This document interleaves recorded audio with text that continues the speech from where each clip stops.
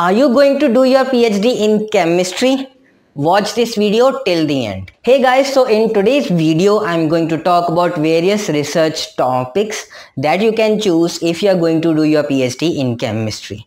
So in today's video i'll give you about many things. First we will talk about the various branches of chem, chem chemistry. We'll talk about the basic branches of chemistry. Then we will talk about the derived branches of chemistry. Then i will give you a basic topics that you can take up if you are doing your bsc in chem chemistry. Then i will tell you about the topics that you can take up if you are doing your msc or phd in chemistry. Then in the next part of the video i will tell tell you about the institutes from where you can do your PhD in chemistry. And in the last part, I will tell you about the basic journals, Scopus and SCI index journals that you can try to publish your papers.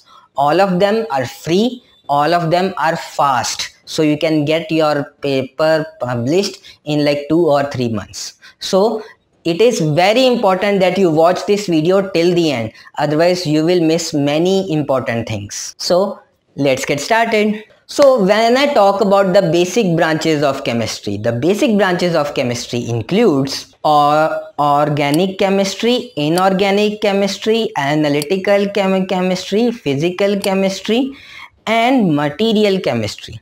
So first let's talk about the organic chemistry. So when we study about the structure, properties, composition, reaction and preparation of carbon containing compounds that we term as the organic chemistry. So top four organic molecules that you will basically work on are carbohydrates, the lipids, proteins and nucleic acids. So if you are planning to do your PhD in organic chemistry, the basic things that you can work on are retrosynthesis, Esch Eschenmoser tube fragmentation, Barton reaction related things, aldol type reactions. So b so these are the basic topics that you can take up. The other branch of chemistry is inorganic chemistry. So basically an inorganic compound is a compound that lacks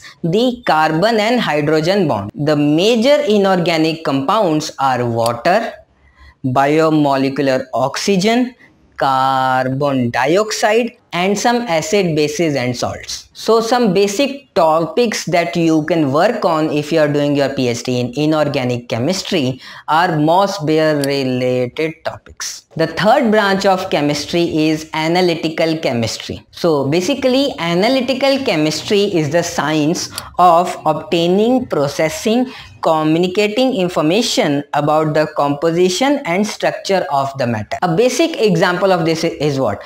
In the forensic field, we have drugs that come in the form of various colored powders and you have to analyze them and find out their content.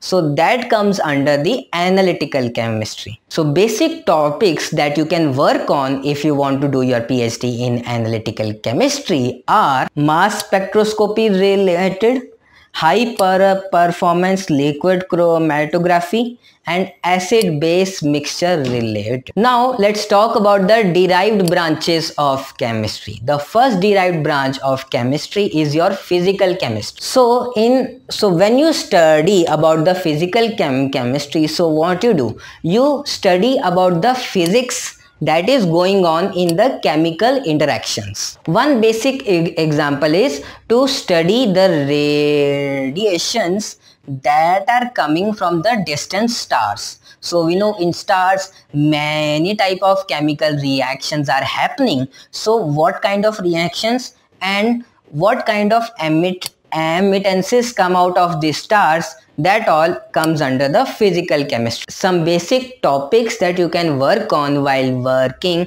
in the physical chemistry branch are chem chemical kinetics, thermodynamics, spectroscopy, electrochemistry. The next derived branch of your chemistry comes as the name of material chemistry. So material chemistry is the section where we combine the material science and chemistry to investigate the chemical nature of the materials. So basically material chemistry is the synthesis, processing, characterization, understanding and exploitation of compounds that may have useful or potentially useful pro properties and applications. Coming on to the next derived branch of chemistry is your bioinorganic chemistry. So bioinorganic chemistry is that branch of chemistry which focuses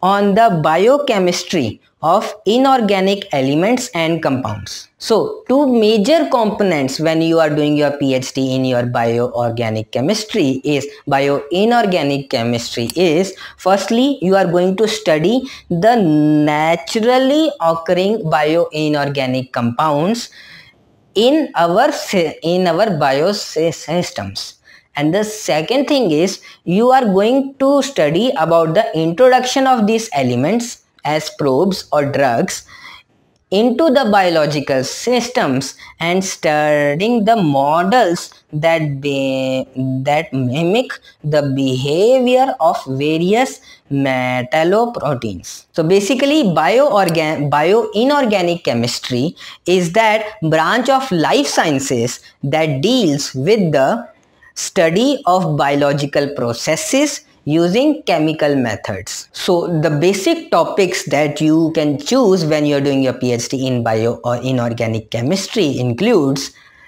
toxicity related to topics, oxygen transport, protein activation related topics, the, the metals in medicine related topics, carboxypeptidase related topics. So these all things that you can take up if you're doing your PhD in bioinorganic chemistry. The next branch of chemistry is your synthetic chemistry. Synthetic chemistry includes the fields of organic, inorganic materials and even biological sciences. When, when we talk about what kind of things come under synthetic chemistry, so we have the plastic products which are made from the poly poly polymers, right? So that thing comes under synthetic chemistry. We have the elastomers which are your which are your flexible rubber materials. Then we have the medicines. Then you have the artificial sweet sweeteners like stevia equal all these things. All all these things come under all these things come under your synthetic chemistry. The next branch of your chemistry is your computational chemistry. So computational chemistry is that branch of chem chemistry that uses computer simulations to assist in solving complex chemical problems. So some basic areas can be like computational drug discovery, molecular systems engineering, nanomaterials and design. So so what happens that many industries use computational chemistry or computational techniques to derive innovations in your pharmaceutical drugs. The next branch of your chem chemistry is your textile chemistry. So basically when we use the chemical techniques and processes to your textiles that becomes your textile chem chemistry. So once when you start working as a textile chemist, your job profile will include to apply the fundamental knowledge and principles of chemistry to all types of textiles all lines of textiles like dyeing, storage, qual, qual and quality maintenance. Some basic topics that you can take up if you're doing your PhD in textile chemistry is new fibers, wet processing, applications of dyes, coloration evaluation lab. The next branch of your chemistry that you can take up is your pharmaceutical chemistry. So this branch of chem chemistry deals with the combination of chemistry and pharmacy. So basically you do the research and development where you try to develop new drugs using chemical techniques. Basic topics that you can take up as a part of your PhD in pharmaceutical chemistry is your drug discovery, drug de development and pharmacokinetics. Another branch of chemistry that you can take up if you want to do your PhD in chemistry is quantum chemistry. So this branch of chemistry involves the applications of quantum mechanics to the molecules. So you study about the energy and energy derivative properties using the wave function. Some basic topics that you can take up if you're doing your PhD in quantum chemistry includes density functional theory and wave function. So now we have discussed all the branches of chemistry and I have also given you some topics that you can take up. Now I will provide you some topics that you can take up if you are very beginner in research like at your level of your BSc in chemistry or MSc in chemistry. If you are very new, you can take up these things. These topics include the production of biodiesel, syngas production using rice husk, determining level of heavy metals in effluents which is released from any pharmaceutical company. Then usage of non-wood plant fibers in pulp and paper making. Then you can also work on comparison and study of the parameters that you can get from still and running water then you can also work on the fermentation of fruits and vegetables so these were all the topics that you can take up in as a, as a part of your basic research in your BSc or MSc level. Now I will go ahead on some advanced to topics that you can take up during your MSc level. These topics include the first thing is your medicinal inorganic chemistry. Like you can work on those drugs which are used for the treatment of cancer. Then you can also work on your solid state batteries where you can work on lithium solid electrolytes. So after COVID, we have all start, started to talk about our dis, disinfectants. So that can also be a good area of research to work upon. You can research about the catalytic disinfectants that are used on air and surfaces. Another very good area of research is your green synthesis. Green chemistry is similar to your sustainable chemistry which focuses on the design and products that may that minimize or just eliminate the use and generation of hazardous substances. Another area another very good area to work on is advancement of small molecule drugs for the clinical treatment of osteoporosis. Osteoporosis as we all know is a bone disease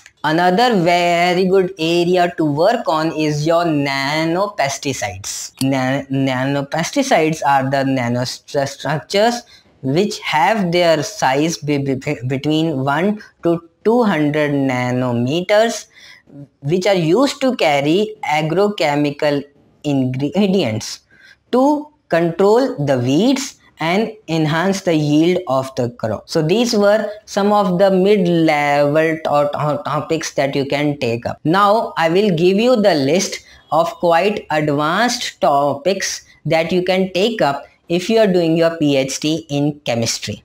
So just pause the screen, take a screenshot and note down these topics.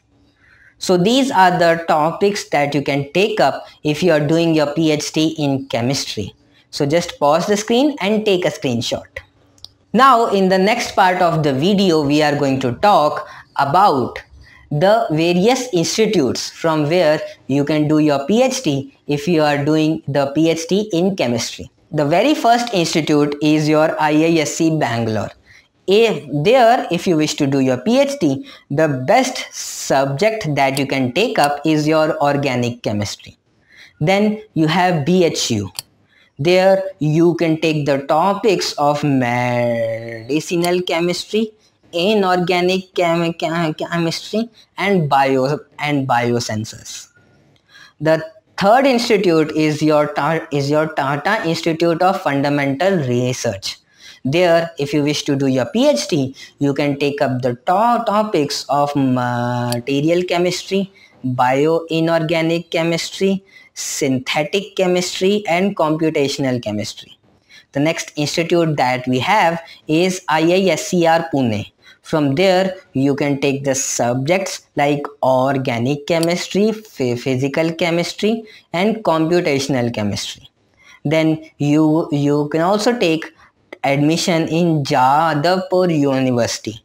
There you will have the topics of inorganic chem chemistry, organic chemistry and physical chemistry.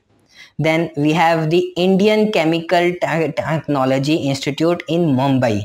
There you can take the topics of textile chemistry and pharmaceutical chemistry. Similarly, in IIT Guwahati, you can take the topics of computational chemistry and quantum chemistry. Then you have a National Sugar Institute in Kanpur where you can take the topics of organic and applied chemistry. Now in the next part of the video, I'm going to tell you about various journals that you can take up and which and publish your research uh, uh, uh, articles in a short span of time. So the first journal is your Journal of Science, Education and Technology. It is a Scopus and SCIE indexed where you can publish your paper in 3 to 4 months. The next journal is International Journal of Engineering Science. Here again this is an SCIE indexed journal the next journal is your Journal of Indian Chemical Society. This is an Scopus and SCIE indexed where uh, where again you can publish your publish your paper in 2 to 3 months. The next journal is your chemical data collections. This is a Scopus index journal based on chemistry. The next journal is Arabian Journal of Science and Engineering. This is a Scopus and SCIE index journal which takes around 3 to 4 months to publish your paper. The next journal is Sustainable Chemistry and Pharmacy. This is a Scopus and SCIE indexed journal. The next one is International Journal of Management, Science and Engineering Management. This takes, this is a Scopus and ESCI indexed which takes around 3 to 4 months. Then we have a journal by the name of Science Bulletin which is Scopus and SCIE indexed. So I hope this information would have been useful for you. Firstly, we talked about the topics that you can take up if you are doing, going to do your PhD in chem chemistry. Then we talked about basic topics and advanced to uh, topics. Then we talked about institutes from where you can do your PhD in chemistry if you want to, along with the subjects and lastly, we talked about the journals that you can take up if you want to do your PhD in chemistry. So I hope this information would have been useful for you. If this has been, do give it a like, share it with those who are doing their PhDs in chemistry. And if you have watched this video till the end, do give a comment I have watched till the end. And till the next week, take care.